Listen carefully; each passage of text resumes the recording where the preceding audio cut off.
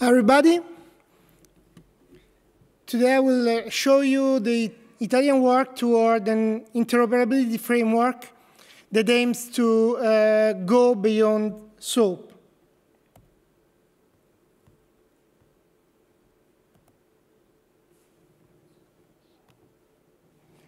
Okay, we will start uh, spotting the main issues we had with the actual SOAP framework. Then we will see uh, what changed in the HTTP world that could uh, enable us to move uh, from uh, SOAP to REST. And finally, the standardization and reliability features we had introduced in the new framework. Uh, finally, I will show you some ideas uh, on which your feedback is very welcome. But before everything, I work in the um, Italian digital team. Uh, if you want, if you want to, if you want to ask, uh, working for the Italian government is is wonderful. Uh, at least uh, until you are in the digital team, we are 30 people, quite skilled, and we strive to make public services uh, more accessible for citizen and business, uh, introducing um, an approach to reliability and to reliable uh, architectures in the public administration world. That is, it's a very tough work. And everything we want to be um, based on API because it's a nice way and a machine readable way to communicate.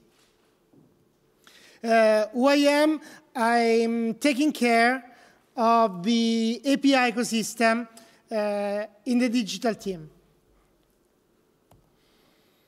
At first, uh, essentially, the government world uh, have always been a closed world, an enterprise world.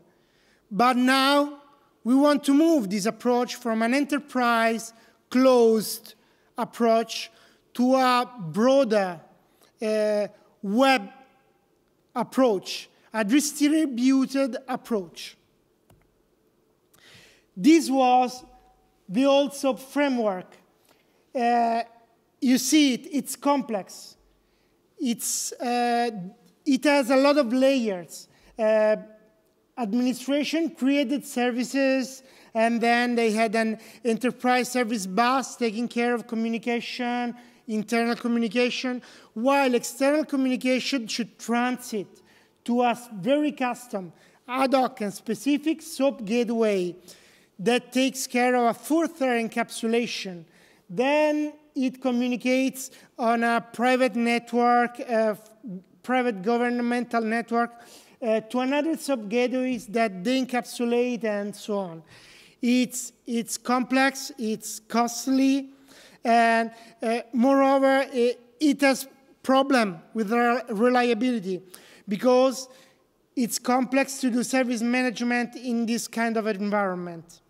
Why this complex? Because uh, SOAP does communicate issues with only one HTTP status code that is 500, and everything is into an envelope. It's in an XML.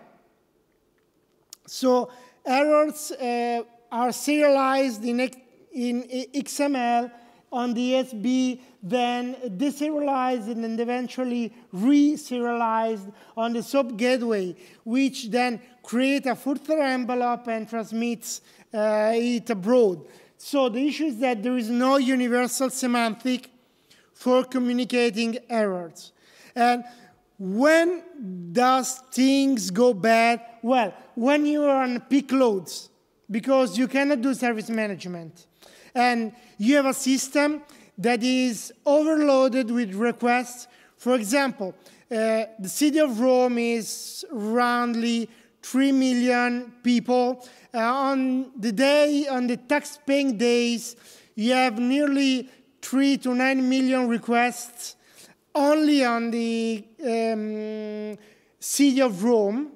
And imagine what can happen when you have a 60 million people country on tax-paying days, then when people just remember uh, on mm, Friday morning uh, that they have to pay taxes and they uh, all make requests between 9 a.m. to uh, 12 a.m., all charging uh, the uh, ecosystem.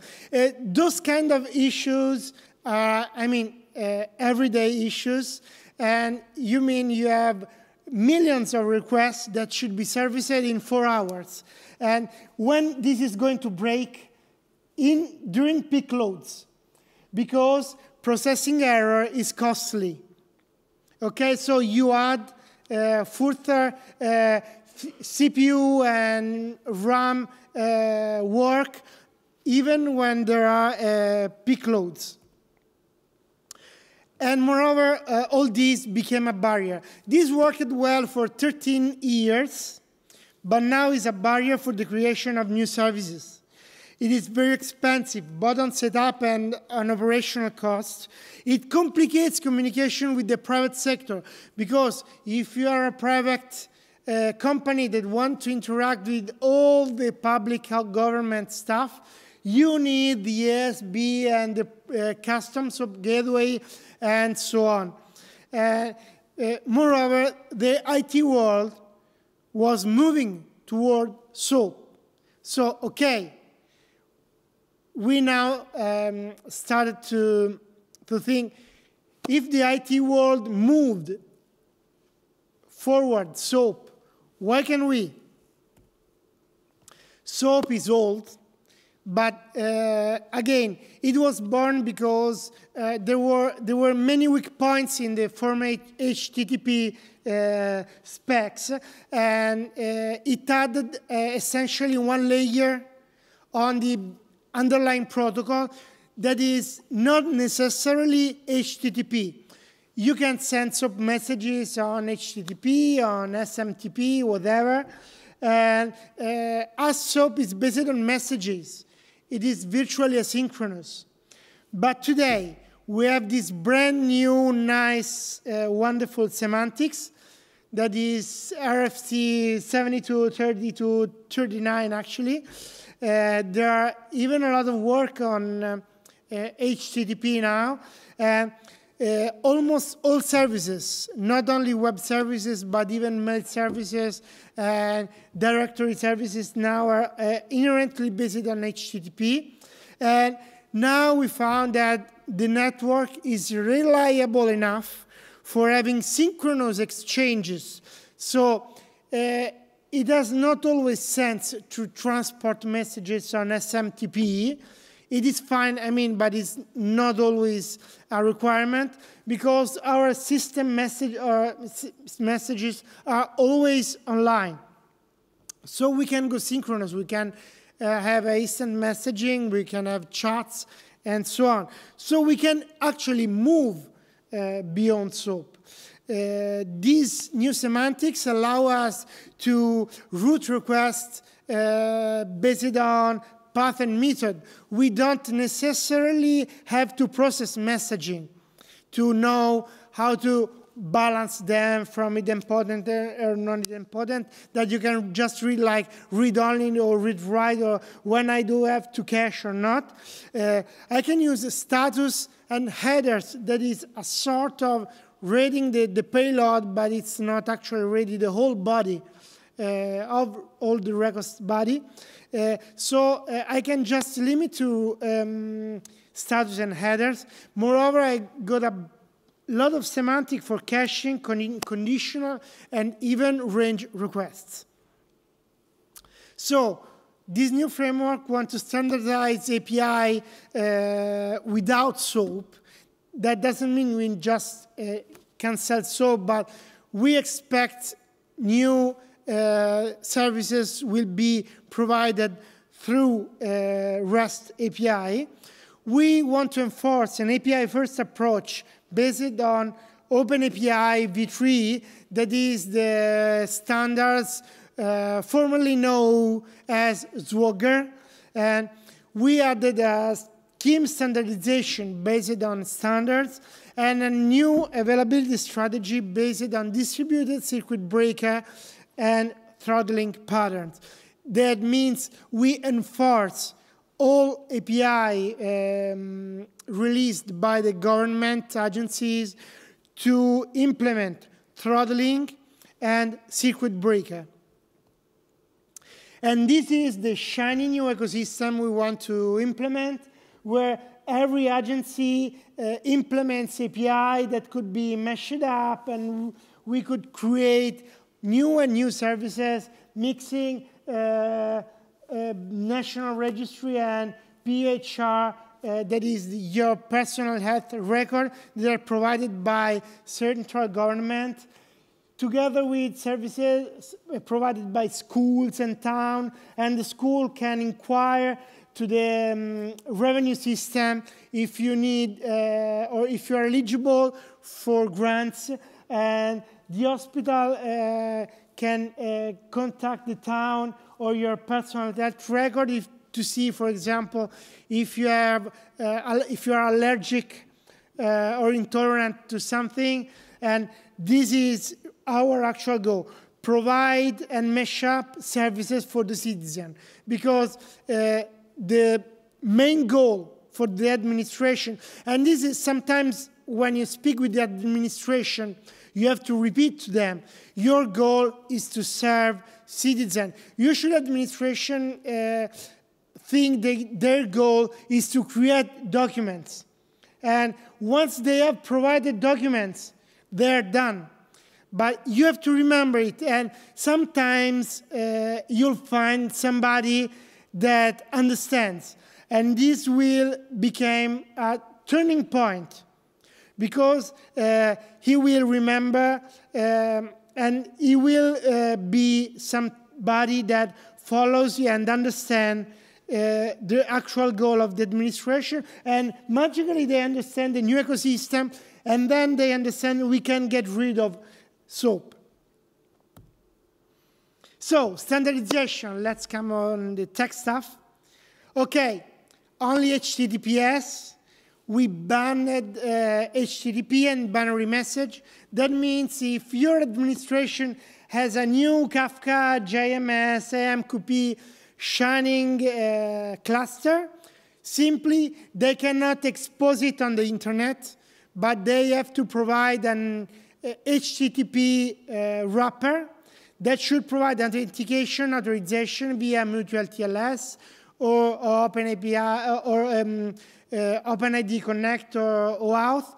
This is not because Kafka is not good, but because you have to standardize things, and Kafka actually is not a standard. Kafka allows you to implement a binary uh, communication system.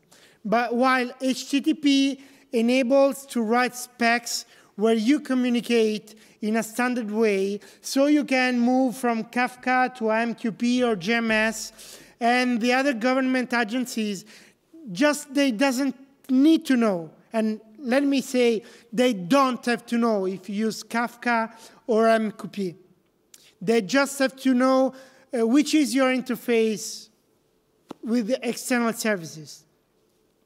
And then we want today to uh, leverage status, method, and path because it is important not only to provide, provide fast services, but we need auditing and routing because usually when you are in the government stuff, you need uh, usually to treat uh, people uh, data, personal data, and so it's better to uh, trade off some speed for the ability to have a unique and trustworthy system of encryption and uh, authentication and authorization based on well-known protocols. Then, this is easy. Uh, just stop logging in that way, but just log in RFC 5424 that is uh, syslog because uh, so you don't have to care about New Year's Day, you don't have to care about daylight saving time, and if I have to uh, cross-check logs from two administration, I don't have to pay um, external services or external company to write expensive uh, log parser, but I have to simply uh, just send you the logs, and that's fine. Well, uh, this ontology-based schema, what's that? Uh, essentially, in um, the Italian law uh, states that uh, except for some exceptions, uh, public organizations should release open source in the wild on GitHub for everybody to use their software. But then one of the issues you have is that their web service uh, just serialized the given name in tens of possible different ways. While in Italy we have an ontology that is a, a well-known and established schemas that say that the given name is named, that is given name and not name nor first name. Uh, the same for the tax code, the same for the VAT number. So uh, we expect in a couple of two or three years to get rid of all, all those serialization um, variables and uh, to have a, converge to a simple and unique serialization stuff that will save a lot of time on um, unit testing when two organizations communicate. Because if I say, let's say, uh, the revenue service say call um, given name and the health service calls um, first name, you have to provide a converter and you should test that all exchanges work. So this is standardizing name is probably the most uh, complex part because everybody wants to retain the old names. But on the other part, we esteem to save a lot of money in uh, two or three years and to eventually provide for public administration a set of library for personal information management that could provide validation and so on at the central level. So if you have to implement um, or to manage personal information, you can just reuse the future uh, to come library. So another part, reliability. This was the main goal behind the new framework. Uh, we started from the uh, European interoperability framework. If you are in the architecture world, it's a good read. It's actually a very good read. Uh, it doesn't go too much in, in the tech, but it goes uh, too much in um, requirements. And if you want to work in the government world, you have to motivate that the change you are introducing came from the European Union because this is your passport too for motivating administration to change. And actually, I think it's a well-written document. So what does he say? Is, he says that um, if you provide government services, you have to plan, uh, you, you have to write up a business continuity plan. It means a few, but it could mean a lot. For example, if you provide your services through a public cloud, it means you have to implement a multi-availability zone strategy. Or if you provide the service in your data center, it means that you have to provide a disaster recovery in two cities, or at least in two different data centers. So um, it means for us on the interoperability stuff, not on the architectural stuff, that you should uh, provide an integrated management on load and failures. That means if your infrastructure is overloaded, you should communicate it in a machine-readable way to the others. Because this avoids cascading failures, which are actually one of the main issues in governmental services, especially when you have um, pay infrastructure behind. Because, for example, you want to pay a tax. You um, talk with your home banking. Your home banking will uh, contact both the uh, service payment uh, system of the government and the um, remote public agencies. So it's a three level um, it's a three-level architecture between different both public and private uh, agencies.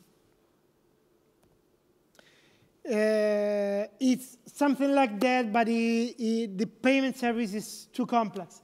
So, for example, if the um, tax office uh, API is overloaded, you still contact your um, home banking, but your requests are going to go in timeout because the public infrastructure that is behind cannot service the request. And this puts a load on your home banking. They have actual transactions that are failing. So you have, for example, a transaction ID on PayPal, and then they tell you that the transaction number X failed. The new framework provides a way to, in the case the service uh, is not available, or if it is overloaded, okay, so if it's up and running, but its queue, its service queue, its API queue call is too long, the, you can use an API management that return a, a saturation response. That is just plain 503 service unavailable plus retry after that could be retry after one hour, five minutes tomorrow.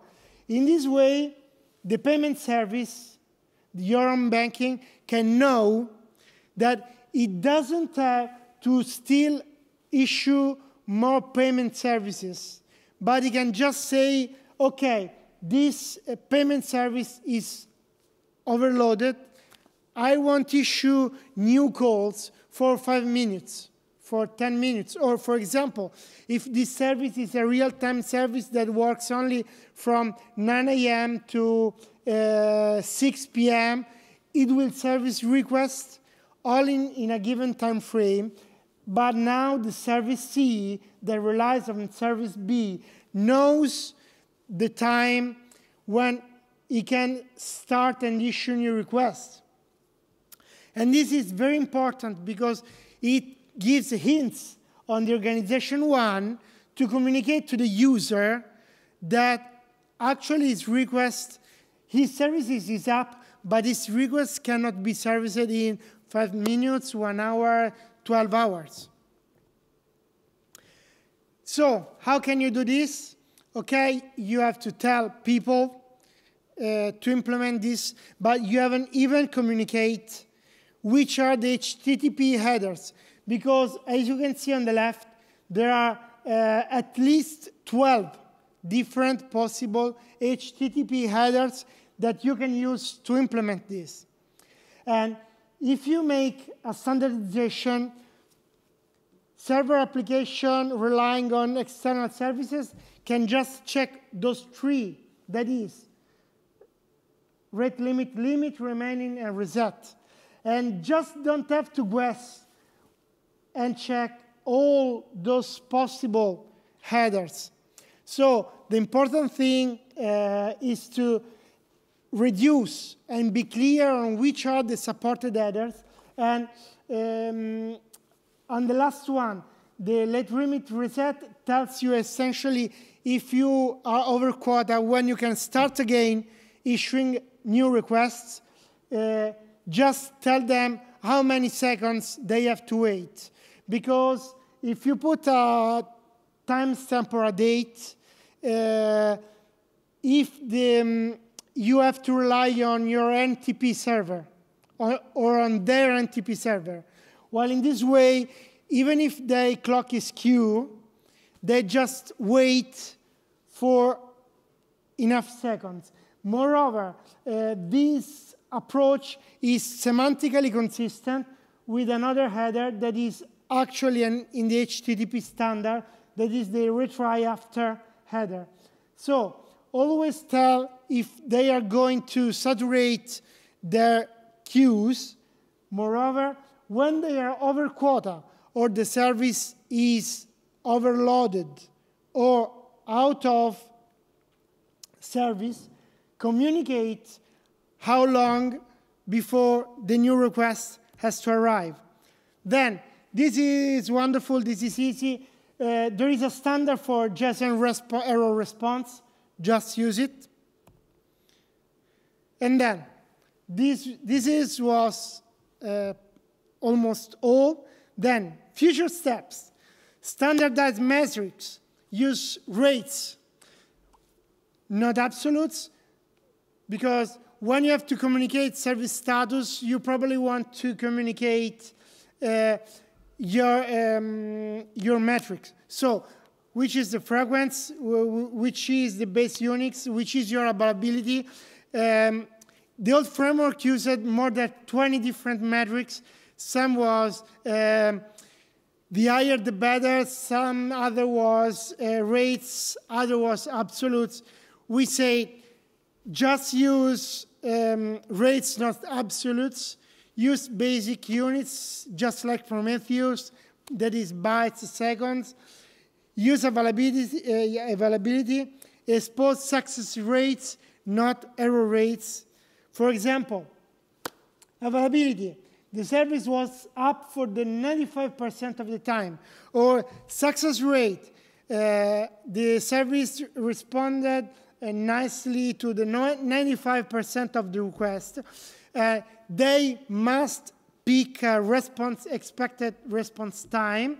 And we are actually uh, thinking if to use a responsiveness that is a quite tricky metrics to evaluate or an Apdex index that just use the target response time to create an index that is from zero to one and it's quite readable and quite usable. If you have, uh, if you have suggestion on that, please, those are welcome. Then, the hard part, the tough part, is signature and encryption. Signing an exchange with a digital certificate is the basis for a non-repudiation framework. That is, if I send something to a public administration, I have a sort of receipt that can guarantee me that uh, the counterpart cannot deny the exchange. Uh, SOAP has a well-established standard that is, well, well-established but criticized standard for signing an encryption that is uh, WS security, and REST has some standard still criticized, criticized that is JSON web signatures and encryption, uh, encryption namely JWS and JWE, um, that are used by OpenID Connect, for example. We are uh, investigating, still working on all that stuff. The possible choices we have are one, leave the signature and the encryption to the application protocol for example, to the, to, to the administration. Uh, sign just the body. That is what WS security does. So we can just extend a JSON object with claims or adding HTTP headers with a signature. Or another approach that is um, undergoing uh, on Amazon, and there are a couple of drafts, um, is to create a signature of request, header and body, and put everything in the HTTP headers. Uh, there are some proposals, and there are many issues, but it's, I mean, interesting. It's an interesting research stuff. Further discussions uh, are on digital certificate. I'm uh, lurking on these uh, web uh, work group, uh, they consider RSA a legacy, but well, it's it's not that you say just don't do RSA. I mean, you should think well because uh, it's something uh, we have to think at least with a 10 years uh, perspective. Uh, the advantage of um, considering RSA a legacy is that uh, elliptic curves keys are very short and they are easily embeddable in HTTP headers or in claim. Uh, on headers, there's something new in HTTP2 are those structured headers. You can see uh, the second uh, stuff enclosed with stars is actually um, base 64, base 64 encoded binary. So the advantage of structured headers is that you can embed binary stuff into headers uh, in a standard way. So when you get stuff that is enclosed, it, it's just base 64 encoded. And well, another discussion, but it's really too much for a conference, whether to deprecate or adopt the digest header. If you use it, please take care of reading the carefully both the digest header um, RFC and all the proceedings of a couple of um, HTTP workgroup uh, conference papers because uh, seems, seems nice, but could be tricky. Well, I think that I made a quite nice run. I hope I didn't bore you enough. If you're interested on the new Italian framework, actually it is in uh, Italian, but uh, I'm working with the uh, GDS, that is the uh, United Kingdom uh, Digital Services. Uh, I started some preliminary talk on, on this work. There are some similarities, some differences, but we are um, we just started uh, last month, but we made a lot of calls uh, to try to find some uh, common grounds. And we're even start some first interaction with the uh, French government. And so there, there is the opportunity to create really um, an European framework for API there will be a European conference uh, in October. I hope to make it there. And if you're interested in uh, this stuff, uh, please uh, let me know and I will provide all the English documentation I can.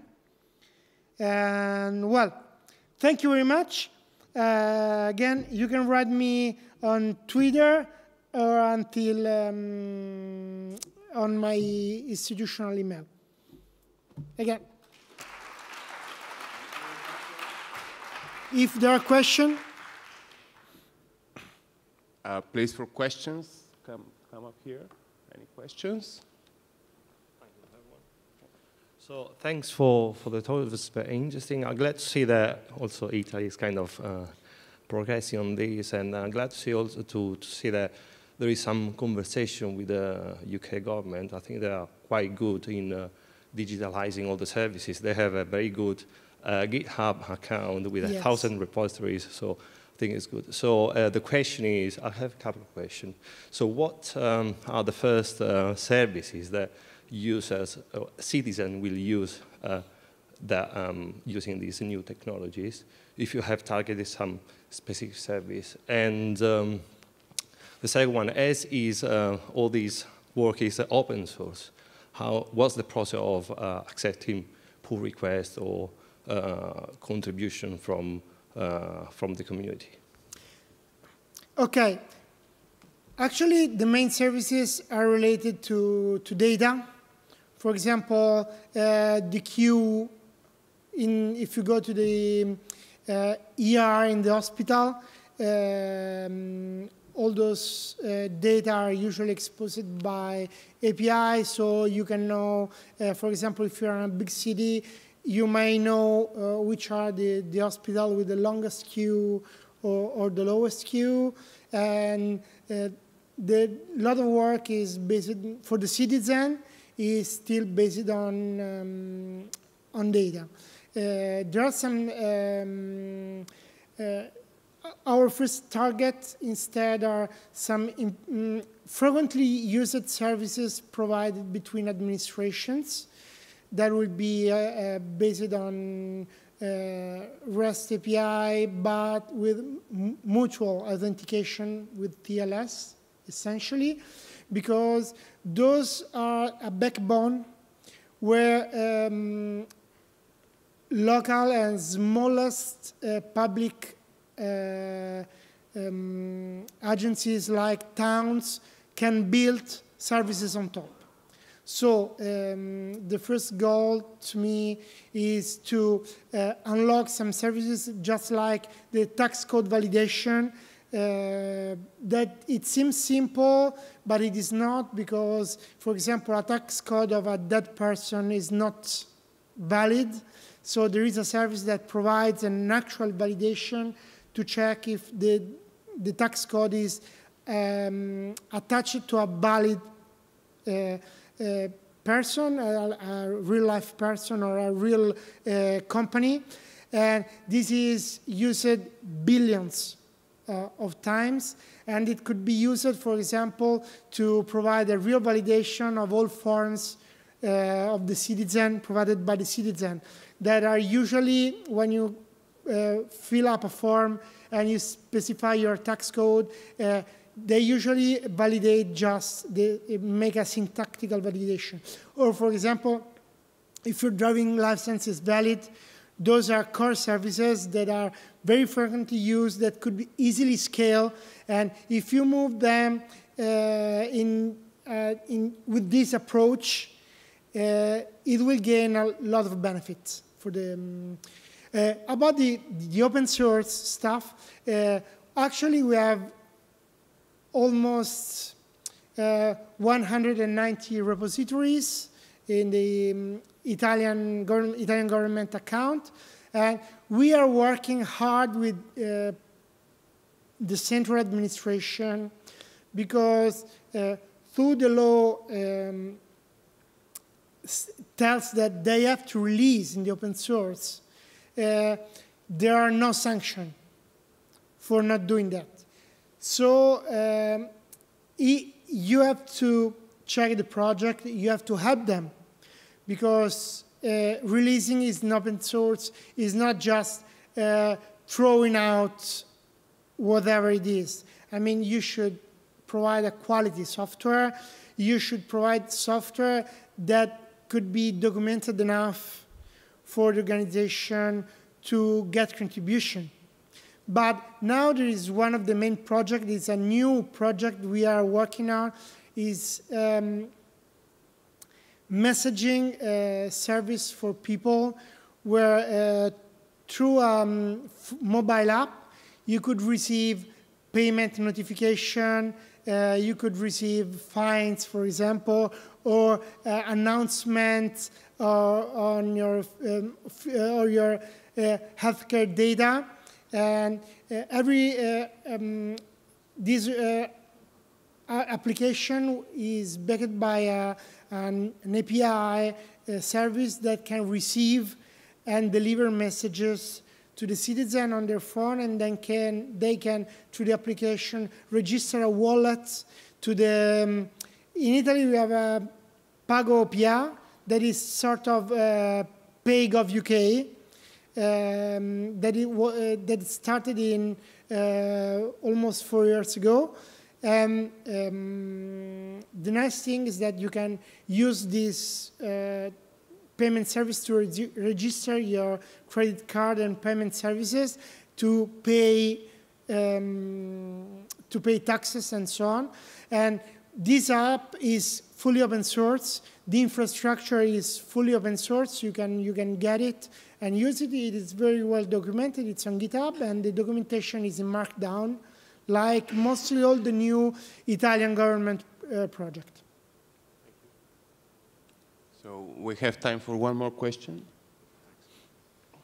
Uh, I just wanted to quickly mention um, there's a project uh, called uh, COSE, COSE, um, which is RFC 8152, and that's a signing and encryption protocol, which might be useful to you. I saw one of the slides you mentioned You, Oh, were looking you- at different um, options for that, and I just wanted to mention Just let me know. Um, RFC.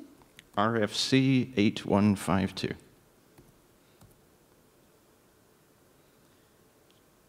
Yeah, uh, it's based on um, on uh, CBOR. It's I, I think it's used. Um, uh, it's used another way of um, serializing the object.